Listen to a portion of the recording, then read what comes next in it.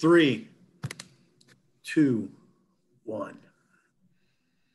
Welcome in, Life in the Red podcast. I'm wearing red. Uh, it's not a Husker hoodie. It is a it is a Hesston Swathers. Hesston Swathers. Oh yeah. Oh yeah. yeah. I'm I'm Chris. I'll tilt you down so you can see it. There's Palmer. He's going to join us today. Say hello. Oh yeah, Palmer. you are. Yep. Herbie and then uh, there's yeah yeah I'm Herbie Husker. it's simple. Uh, Parker's over there. It is Friday. We're going to send you into the weekend with a podcast. It's currently 2:56 p.m. Um, into the bye week for the Husker football team. Going to get get ready for Wisconsin next week. Going to get ready for Wisconsin without four of their offensive assistant coaches. Uh, four player, four men were fired uh, since the last time we potted. So we're going to obviously touch on that quite a bit. We'll talk a little hoops. Nebraska taking on Sam Houston State tonight.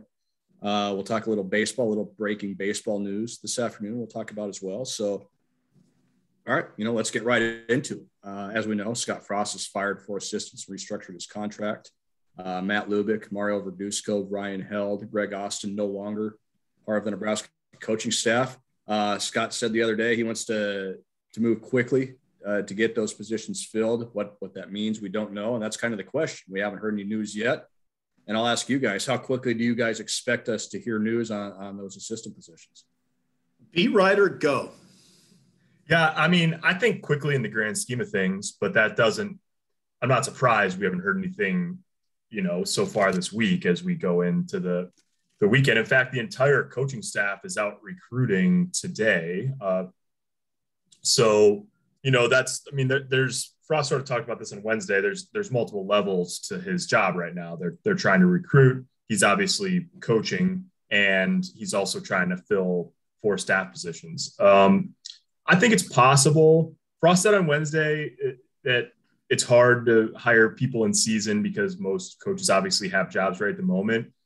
That's true. I wouldn't be surprised, at least with an offensive coordinator, if they know who it's going to be and, and perhaps even announce it before Nebraska plays Iowa two weeks from today.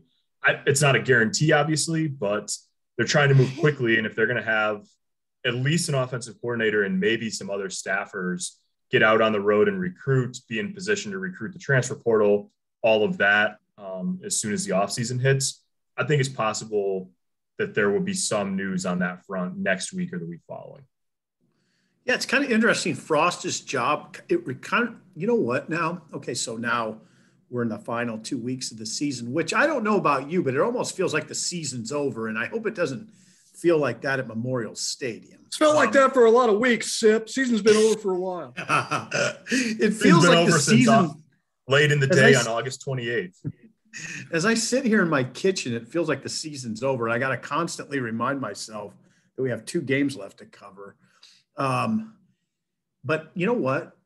Frost, you know, you've referred to this sort of multi task final couple weeks he has, and it's always a multitask role for a head coach, but we know what you're talking about and it makes sense. He kind of he handled that well at UCF. You know, after he got named at Nebraska, I don't know, was it December 2nd of 2017? 17, yeah. Yeah, and then he went back and coached UCF uh, to a bowl win. He's coaching two teams and, at the same time, basically. Yeah, he was coaching two teams at the same time, and he was really, he was really, he really had to, he was really stretched then, had to multitask. Um, there was that famous story of them flying out there overnight, an overnight flight to get to Adrian Martinez and, and him throwing up at practice the next day and all that. I imagine it's about as stressful now as it was then and but oh, yeah. he came through that pretty well. So maybe he, he can come through this well. It's interesting too. I mean, I think there's sort of a. I was interested in asking him and did ask him on Wednesday if he if he thinks that whoever he hires as the offensive coordinator will have some say in how the other staff positions unfold um, and who those people might be. And he said, yeah. He said, if I were being hired as a coordinator, I'd want, I'd probably feel pretty strongly about at least one or two people. And so that, I mean, that's a pretty clear signal that the offensive coordinator is number one on the priority list. So, you know, I've had a lot of people ask, like, who do you think will be an offensive line coach or who do you think will be a running backs coach or, or are they going to hire special teams, a special teams coordinator or whatever? And I think all of that probably spills off of who they hire as the offensive coordinator. And we we can sort of maybe talk a little bit more about that. Like the conversation about the other staffers on offense depends to some degree on the specialty of the offensive coordinator. If yeah. you've got an offensive coordinator who also coaches quarterbacks, then you're looking for an O line coach. But let's say they find an offensive coordinator who coaches the offensive line. Now you just need a standalone quarterbacks coach and running backs and receivers, you know, and then maybe special teams or whatever. So it is largely, I think, priority number one is clearly identify someone Frost trusts to be the offensive coordinator. And then based on the exact responsibilities of what that person's going to do in terms of position and all of that, then you figure out the next three after that. Uh, Palmer is Palmer still in diapers? Uh, yes, simply he's 10 months old. Yes, he'll be yeah, in diapers so, for the so, so he could take a crap right now and we wouldn't know it. That's no, yeah, you'd have no. He might be peeing right now, as far as we know. I really, yeah, that's good. Kind of fascinating. I'm almost um, to that age. I'm almost to that age where you're almost reverting back to being in diapers. Yeah, you're not far away. Probably. All right, sorry, Parker. Go ahead, Baz. completely forgot what I was going to say now because you asked my my son was still in diapers, but um, I don't know. He's getting his uh, he's getting his you know temporary driving permit here in a couple of months. Yeah, he's he'll be he'll be off to college here for too long. um, I guess I think the interesting question is, you know, Scott said he wants somebody he can trust.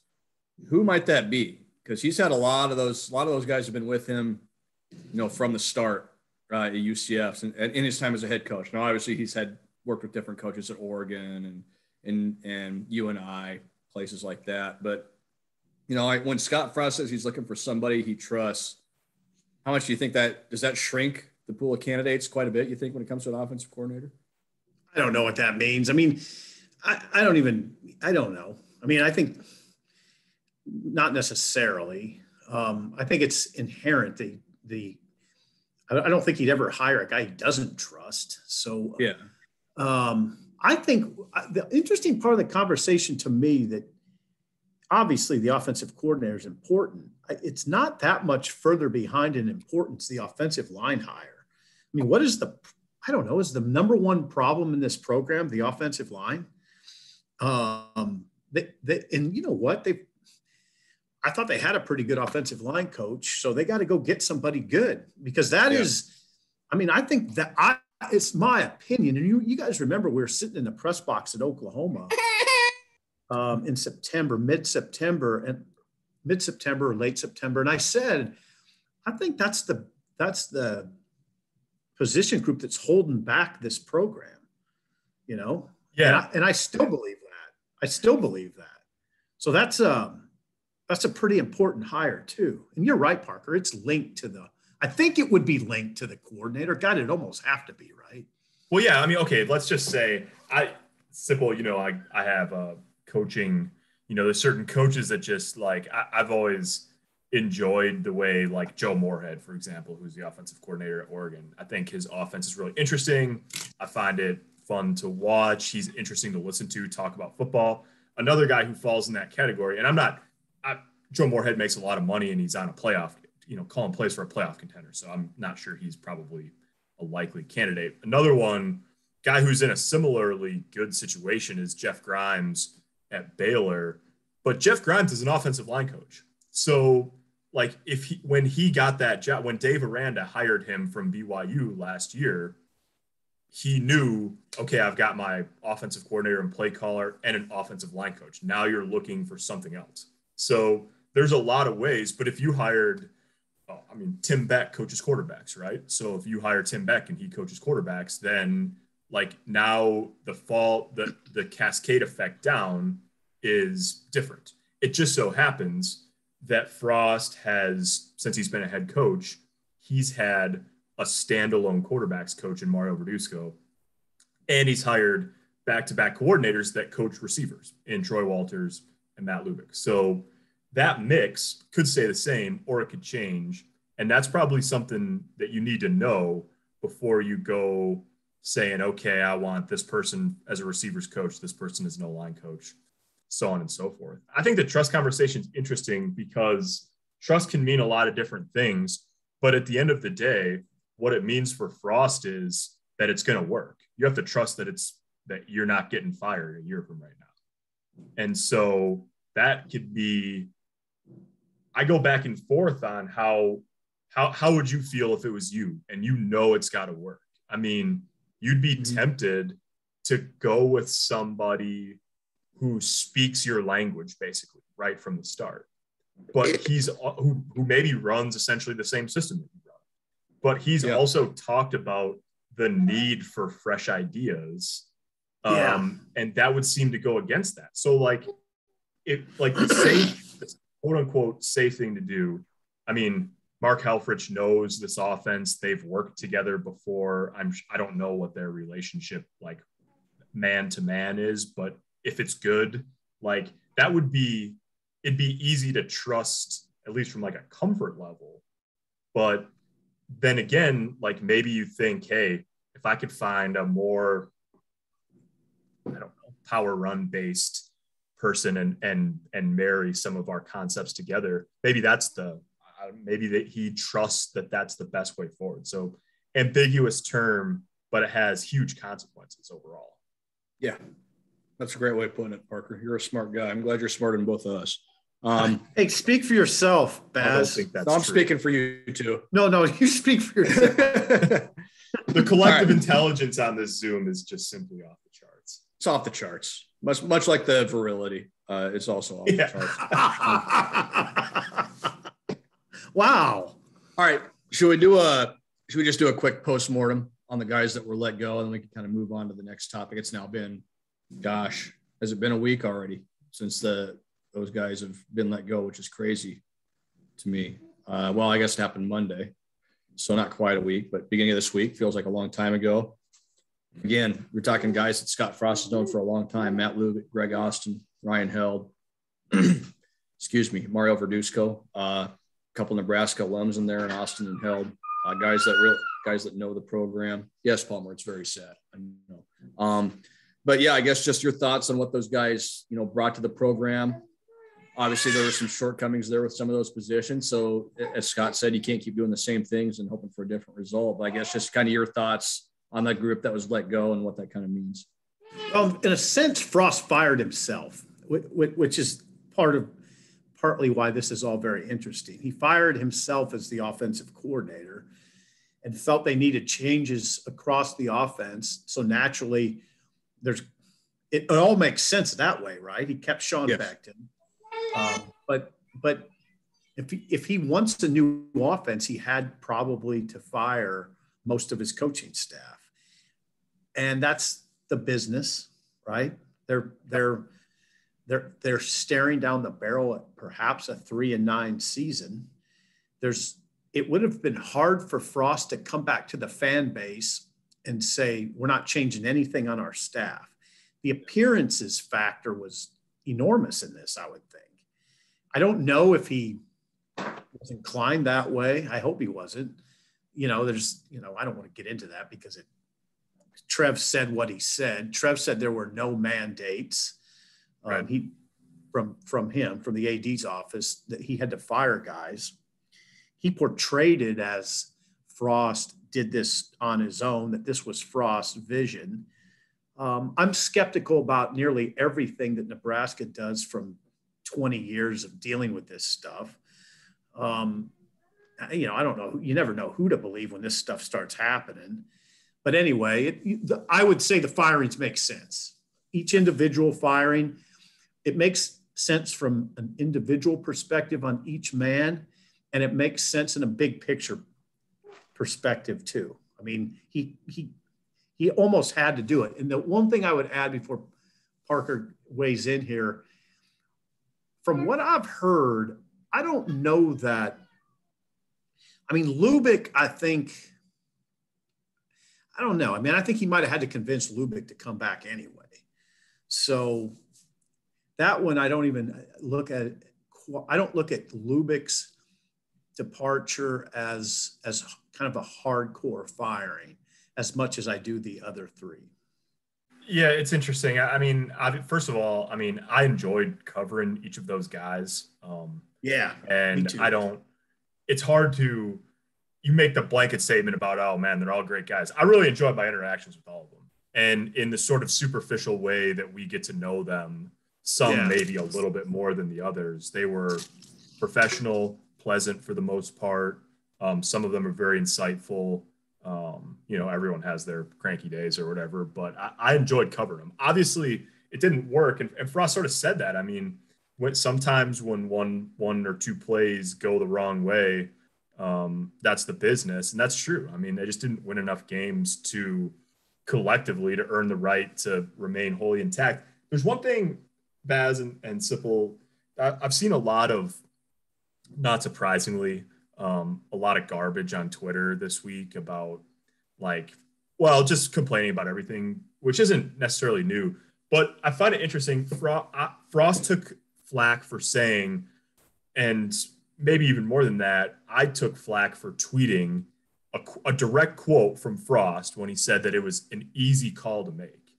And I think that sometimes people just don't think through this stuff all the way. I mean, like, just because at the end of the day, it was an easy call for Frost to make, like, I don't understand how anyone disagrees with that. Like, they're three and seven, you know, they're 15 and 27 in his career. Like something had to change. And then if you push it even further to where if nothing did change, he was probably going to get fired. Of course, it's an easy call to make, but that doesn't mean that it's easy to do. Right. Yeah. Like action re- was required. Mm-hmm. Something had to give.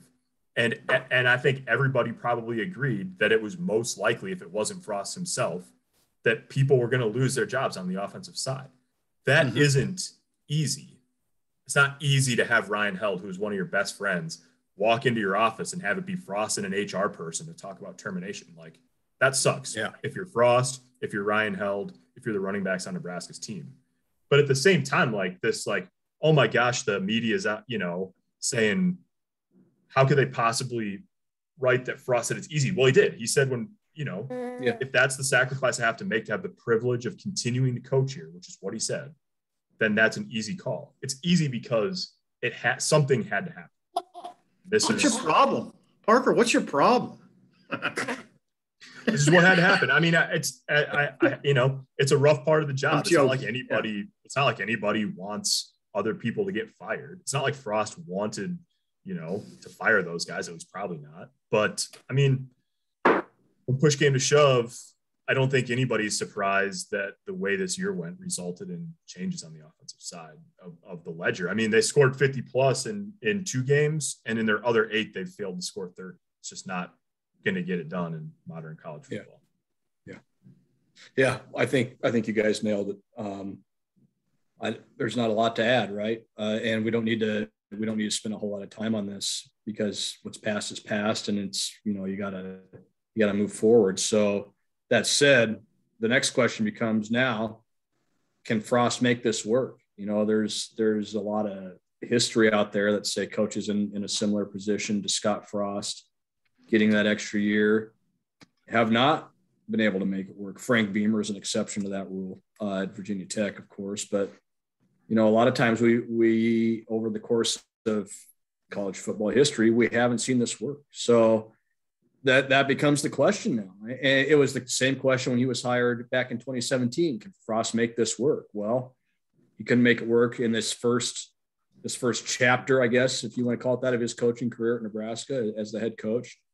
Now it's time for chapter two. And does chapter two have a different ending than chapter one? I think that's going to be fascinating to watch. It depends, of course, on on who he hires uh, as his OC and, and, for all those other positions. It depends on what kind of buy-in he gets from the players moving forward. It depends on you know everything else that hasn't gone their way this year, luck or turnovers or whatever it may be. But I'll, I'll ask you guys: Can can Scott Frost make this work with a new batch of assistants on the offensive side? I think um, it's a long shot, and if you want to, I mean, if you want to build intrigue in your mind, an interesting exercise is is it's an appropriate exercise right now. I did it today, and it's it's really kind of fascinating to do. Is go back and watch his first press conference. First of all, you note how young he looks, how fresh he looks. I mean, God, it's striking that part. He's, but also when you age him like a president. yes. Hey, that's a good line. Thank you. I used that'll, it once in a game story, actually. Yeah, that'll. Well, I'm going to use it again as I I use a lot of Parker's lines in my column, so don't yeah. talk. Um, I uh, kind of your mo. Yeah, I just kind of let let Parker let other people do it. Ghost Rider. All right, Palmer, how's your diapers? I um, wet. I, I, now, if you go back and if you go back and yeah, um, I'm the uncle that nobody talks about, Parker. Yeah, you're, the, you're, you're the uncle. You're right on schedule in in uh, two less than two weeks. You're up at Thanksgiving. You're the uncle that always. yeah, uh, uh, not a stretch. Um, I, the some of the comments that come out of that press conference are really germane today. I, I want to ask you guys a question. Um, Moos, uh, Bill Moos, in introducing Frost said, I believe he was everybody's first choice. There were other schools that were hiring, and I think he was Florida's first choice. And you remember Bill had that famous line, I got the pick of the litter. Um, and everybody clapped. Now, think about Frost back then, and then fast forward to now, he's, he's run through two offensive coordinators. He's only had one quarterback, but he's had two offensive coordinators, which is sort of interesting in itself. Yeah. Uh, yeah, and he could theoretically be on OC number three with the same quarterback next year. Oh, yeah, that is not what that was not the plan. Right. yeah, I imagine not. Remember, now, remember when Adrian was a freshman? We're like, man, he might only be here for a couple years. Yeah, three and out. okay, so the question I have for you, it's not really answering that question. It's another question. Where would you rank Frost in the Big Ten right now in coaches, as far as coaches go? Well, I mean, if you're going well, the record doesn't lie, right? Just go bottom to top because that'd be the most convenient thing to do, right? I mean, geez, I'm trying to think. Who's who's below him? I mean, Tom, Tom Allen, you would have been maybe? crazy. You would have been crazy last year as they got it going. And the Maryland coach is below him. Yeah, Locksley. Yeah, Locksley, Mike Locksley. But Schiano has done good work at Rutgers and has a reputation for doing good work at Rutgers. Um, Bret Bielema has beat two ranked teams so far in his first year. Beat two ranked teams. Um, and beat Nebraska. Fitzgerald's had a rough year this year at Northwestern, but we, we all know what he's done with that program. Again, the record speaks for itself there. So, I mean, those are those are Nebraska's contemporaries, essentially. Chryst at Wisconsin, we know what he's done. Uh, we certainly know what PJ Fleck's done at Minnesota and what he's done in Nebraska, say for that first year. So Schiano, yeah, for some I mean, reason, decided it was a good idea to try to rebuild Rutgers a second time. Oh man. Now you know the Maryland discussion is sort of interesting because they have they they will not win this week. Um, I think they play Michigan State this week, but they have a chance to be bowl eligible next week when they play Rutgers. So Maryland could theoretically get to a bowl. Yeah. Um, his so, record in the Big Ten, or his record overall, Locksley's record overall at Maryland is 11 and 21. This is his third year. Um, and he's 6 and 20 in the Big Ten. Frost is 10 and 20. 10 and 23. Yeah. Yeah, 10 and 23. Similar. I mean, it's they're similar records wise. Frost obviously has one year. So, one, yeah. Yeah. So, in a nutshell, Frost is I mean, we never would have thought on December 3rd of 2017 when he was sitting there being introduced. Parker, you were there, Baz, you were there. The room was full. There was so much anticipation. And you never would have dreamed it would have come to this now in, you know, in the middle of year four, at tail end of year four, that he's got to make staff changes. And now we're talking about what are the chances that he can salvage this somehow and and make and make it keep going. You know, it's almost like it's not a reset because Trev won't call. He didn't. Trev didn't want to call it a reset because I would suggest Frost might get three or four more years to make it work. It's not that situation. So I'm telling you, it's a long shot. I don't know. I'm not smart enough. I'm not gonna. I'm not gonna pretend like I'm smart enough to say how he's gonna make it work, except the obvious. Uh, the obvious. He's got to hire an offensive coordinator who, who, can hit the ground running, who's probably got experience, um, a lot of a wealth of experience as an offensive coordinator maybe as even a head, maybe even as a head coach.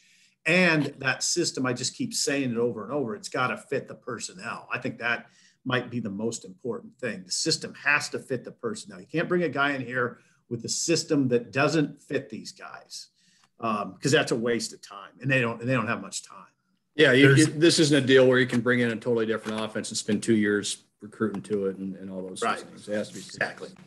There's also, I mean, there's another way to to measure with the pay cut that Frost took in 2022. Locksley, Mike Locksley is the only coach in the Big Ten that's going to make less money um, in 2022 than Frost. Four million puts him 13th uh, in the Big Ten, pending. That's pretty amazing. Changes. So there's yeah. that. There's that element of it too. I think if you're talking about the likelihood that it works, I mean, you can find some success stories. Other side of the ball, but Jeff Brohm, you know, ha- they had Bob Diaco for one year. They were a disaster in 2020 defensively. Um, he changed coordinators for the second time in as many years, shuffled his whole defensive staff, and they're pretty darn good on defense this year. Purdue's, you know, top ranked, um, not not at the very top of the Big Ten, but near the top of the league, and and stacks up well nationally um, in a lot of categories. And I think Sipple talks about this all the time. It really helps that they have a lottery pick, for lack of a better term, on that side of the ball, and George Karlaftis and other good players and all that. So, I mean, it's not impossible to make changes on the run. I mean, you've seen, you know, Alabama is a hard example to use just because there's it's so different, um, not only at the head coaching position with Saban, but but just in terms of talent. You can churn through coordinators and turn things over and have it work okay. You can do that. It doesn't matter if you're Purdue or Alabama, but the stars have to align, and it's not easy. Um, and it's Different. certainly not going to be easy, you know, for for yeah. Scott and and whoever, whichever guys he hires over the next few months. Different situation, of course, but Frank Solich did it in Nebraska. Um, he got fired at the end of a ten and three season, so so obviously slightly different. But it's you know there's precedence for it here yep. uh, as well, at least for one season. So um, we're going to move on to hoops a little bit here. Nebraska playing Sam Houston State tonight. Nebraska's 0 1. I don't think anybody saw that coming, not least of which was the coach, Fred Hoiberg. And we, we all saw it. Nebraska struggled mightily to rebound the ball. Nebraska struggled mightily on offense. They were stagnant. It was a lot of one on one. The, the beautiful ball movement, player movement that we saw in the exhibition games and that impressive exhibition when over Colorado wasn't there. And all of a sudden, this is a team with a lot of questions to answer one game into the season and going into a game tonight where they're playing a Sam Houston team that's ranked 30 spots ahead of Western Illinois in the KenPom, um, even after Western Illinois win at Nebraska. So it's not easy tonight. It's a team that wants to crash the boards. Nebraska's got a rebounding problem. And Sipple, you talk about this a lot, and I agree with you.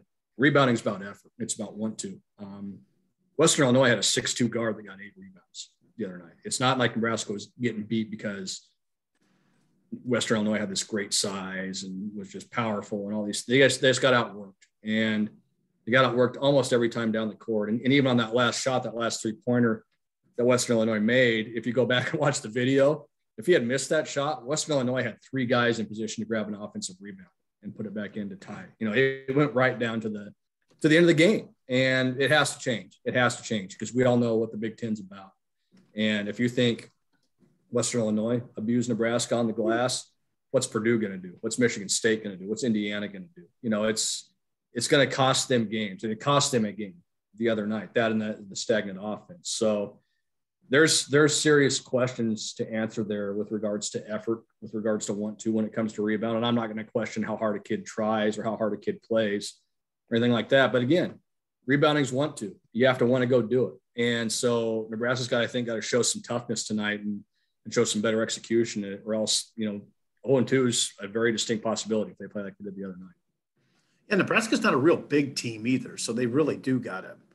They have. To they're not. Have, they're not. You know. But Western Illinois is not a huge team. They had a couple six ten guys, but again, they had a six two guard that grabbed eight rebounds. You know, so size plays a plays a role certainly, but they got to figure it out. And I, I've talked about this a couple times.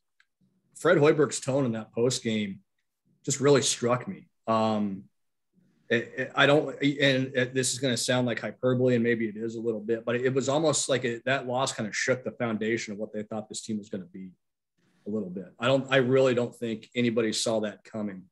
Uh, certainly on the offensive side with the way they played, certainly getting dominated on the boards the way they did. maybe you see that a little bit just from the exhibition games, but there wasn't a person over there that thought Nebraska was going to look like that in their first game. And so now you've had a couple days to practice. You've got a tough game tonight against Sam Houston, and then guess who comes to town Tuesday? Creighton. Um, you know, and, and, a Creighton game that you thought might be winnable before the season all of a sudden looks a lot tougher. Creighton 2 0 with a couple come from behind wins. Creighton hasn't been great, they've been good enough. And so, yeah, it's a for game two on November 12th uh, in a 31 game season. Not as much intrigue as you could want uh, playing a team from the Southland Conference for Nebraska. So, going to be really interesting to see what that looks like tonight. So, Sam Houston State has a, a win against a Division three team, LeTourneau. Is that what it is? LeTourneau, yeah.